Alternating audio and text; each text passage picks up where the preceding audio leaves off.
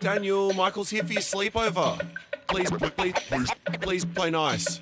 You can touch my Lego, you can touch my Pokemon cards. You can watch Ninjago or play with Thor of Asgard. You can touch my fidget spinners, my dad bought me 18. You can play with anything, but please don't touch my monster twat. You can play my Fortnite, I know that you love Fortnite. You can touch my bike or my kite or my Spider-Man light. You can put your hand on my slap bass. Slap bass. But if you touch my monster truck, I'll stab you in the face. Bitch. You can touch the pills that my dad keeps in the bathroom. You can go and smell all the things in my sister's bedroom. You touch my Tonka twat, I couldn't give a fuck. What's the one thing I said? Don't touch my monster twat. If you touch my monster truck, I'll fucking make you on your own. And then my mama gonna call your mama and say, take your dumb ass kid back home.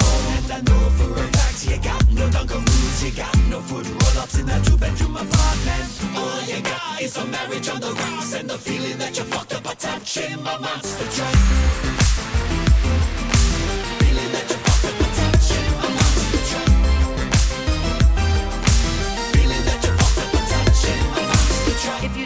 Anyone at school that I cried when you ta ta touch my monster twat, I'll tell everyone at school that you got no TV at your house and you shut yourself. Yourself. My dad could beat up your dad. My dad is John Cena. I'm allowed to drink coke. You've got a weird wiener. My mum says that your dad is a cuck, but I don't know that word, but I know another word. It's monster truck. Monster truck.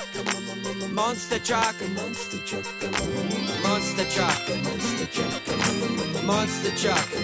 Don't you touch my I am a little shit, the kind of kid that you'd like to hit, but you cannot cause hitting kids is wrong. So you settle for watching me get hit by my mom in a supermarket. Crowded supermarket, crowded supermarket. You take an opportunity while I'm stuck to kick the shit out of my monster truck.